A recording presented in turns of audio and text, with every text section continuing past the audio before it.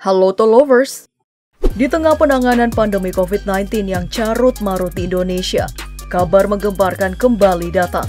Setelah nama Menteri Kelautan dan Perikanan Edi Prabowo diciduk dalam operasi tangkap tangan oleh Komisi Pemberantasan Korupsi pada Rabu dini hari 25 November 2020 atas dugaan korupsi kasus ekspor benih lobster. Ya elah, padahal baru tiba dari kunjungan ke Amerika Serikat ya. Nah terlepas dari persoalan yang menimpanya, sang menteri yang punya kedekatan dengan Prabowo Subianto ini ternyata juga punya laporan harta kekayaan yang sangat menggiurkan dan bisnis anti-mainstream di kalangan pejabat yang dilakoninya. Penasaran kayak gimana? Dalam segmen Auto Sultan kali ini, kita bakal membahas berbagai koleksi kendaraan mewah dan kekayaan Edi Prabowo.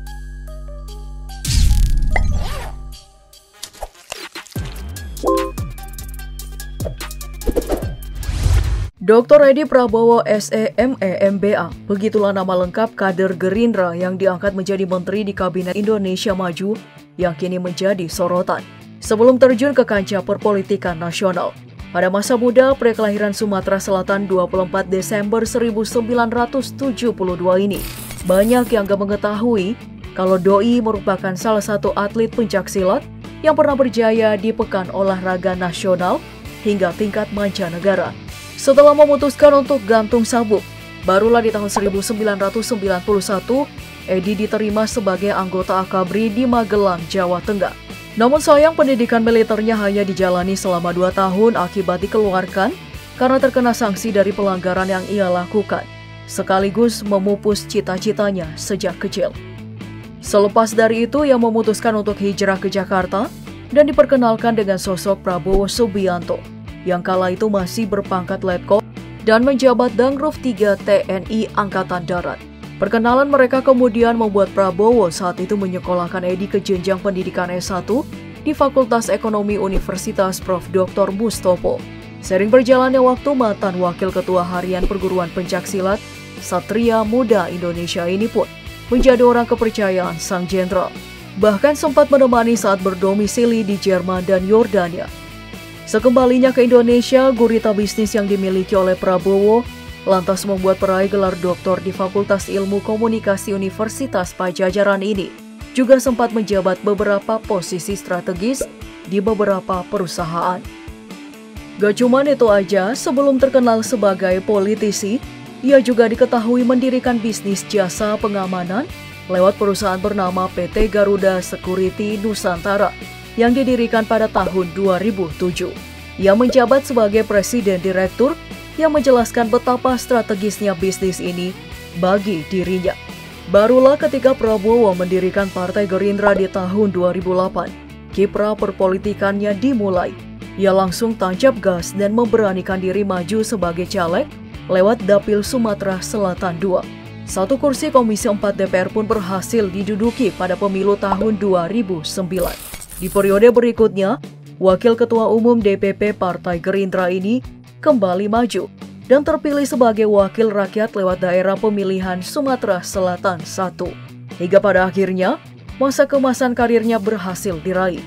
Setelah dipilih mengisi slot Menteri Kelautan dan Perikanan di Kabinet Indonesia Maju 2019 hingga 2024 kepemimpinan Jokowi Ma'ruf sebagai pejabat negara dalam laporan LHKPN yang distor di tahun 2020. Total harta kekayaannya telah mencapai 7,4 miliar rupiah, naik sangat drastis dari apa yang dilaporkan di tahun 2019, yang kala itu masih di angka 4,5 miliar rupiah. Dalam rincian kekayaannya, koleksi kendaraannya menjadi salah satu yang sangat mencuri perhatian. Kira-kira ada apa aja? Usut punya usut sosok menteri yang mencabut larangan ekspor benih lobster ini, menjatuhkan pilihannya pada mobil sekelas Mitsubishi Pajero Sport lansiran tahun 2011, yang harga barunya saat itu di atas 350 juta rupiah. Mobil lain yang biasa digunakan kegiatannya di luar kepentingan pemerintahan berupa Mitsubishi Pajero Sport tahun 2017. Untuk harganya sendiri, Mobil tersebut dibanderol senilai 500 juta rupiah. Apakah sebatas itu saja? Tentu tidak, auto lovers. Sebelum kita melihat harta kekayaan lainnya, ada baiknya kalau kamu semua klik tombol like, subscribe, dan aktifkan lonceng notifikasi Agar gak ketinggalan informasi menarik dari channel Auto Populer. Yuk kita lanjut. Di tengah maraknya para pejabat yang gemar gowes di tengah kesibukan mengurusi negara, Edi juga nggak mau ketinggalan tren dan melaporkan memiliki satu unit sepeda BMC Sport berwarna yang dilaporkan seharga 65 juta rupiah. Eits, tunggu dulu. Sepertinya si sang menteri ini belum melaporkan sepeda jenis lain yang ia miliki. Soalnya dalam unggahan di Instagram pribadinya, ia pernah memposting foto sedang mengayuh sepeda jenis road bike keluaran trek yang di mana harganya sendiri berkisar 75 juta rupiah. Kalah saing nggak dengan sepeda milik Motolovers? Sedangkan untuk kendaraan roda duanya, mantan ketua diklat Himpunan Kerukunan Tani Indonesia ini punya tunggangan kuda besi berupa Yamaha RX King dan Honda Beat. Hmm, cukup merakyat juga ya. Nah, sisi lain dari kemewahan dalam hidupnya juga bisa dilihat dari laporan kekayaan, berupa harta bergerak lainnya sebesar 1,9 miliar rupiah, serta kas dan setara kas sebesar 256 juta rupiah lebih. Sementara aset terbesarnya hingga saat ini terdapat dalam bentuk tanah dan bangunan dengan nilai mencapai 4,3 miliar rupiah yang tersebar di Muara Enim, Sumatera Selatan, serta di Bandung dan Bandung Barat. Itu belum termasuk juga loh dengan setoran kekayaan sang istri, Iis Rosita Dewi, yang merupakan anggota DPR periode 2019 hingga 2024.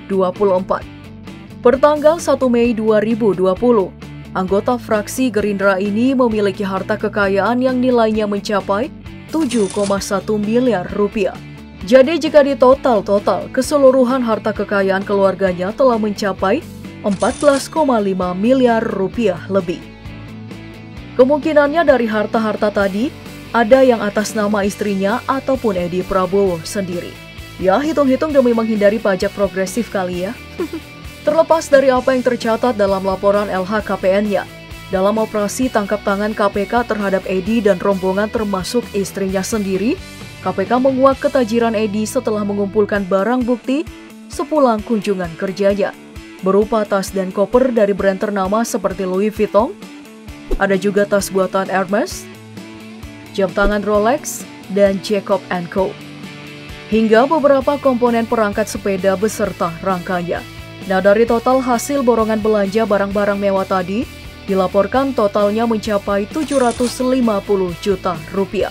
Gak mengherankan sih, soalnya jika merujuk dari harga jam tangan Rolex seperti tipe Sea aja di pasaran, dijual sekitar 300 jutaan rupiah.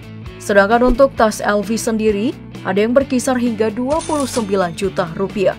Belum lagi tuh harga under deal dari sepeda yang harganya sendiri bisa melebihi harga sepeda motor. Tapi Nas, belum sempat menikmati atau pamerin hasil belanja dari negeri Paman Sam, eh malah duluan keciduk.